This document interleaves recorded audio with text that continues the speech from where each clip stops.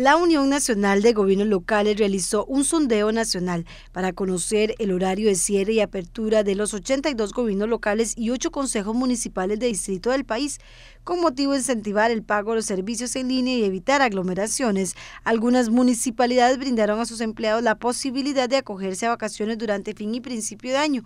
El Ministerio de Salud y la Caja Costarricense de Seguro Social han confirmado un importante aumento de los casos de COVID-19, así como la saturación de centros médicos en las últimas semanas.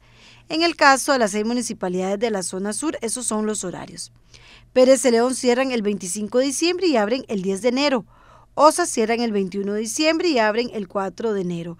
Golfito cerraron el 18 de diciembre y abren el 11 de enero.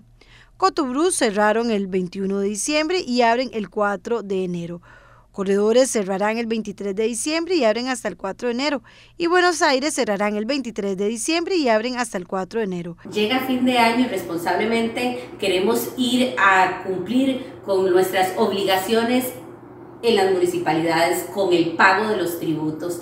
Em, dada la pandemia, nuestros gobiernos locales han habilitado una serie de mecanismos y formas de pago en diferentes plataformas. Queremos desde la Unión Nacional de Gobiernos Locales invitarlos a revisar las redes sociales y las páginas web para hacer eh, nuestros pagos, pero también así cuidarnos a nosotros y a nuestros familiares en no hacer aglomeraciones innecesarias.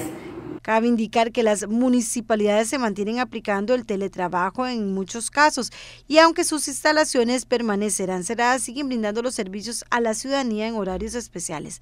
Además, los comités municipales de emergencias no se detienen.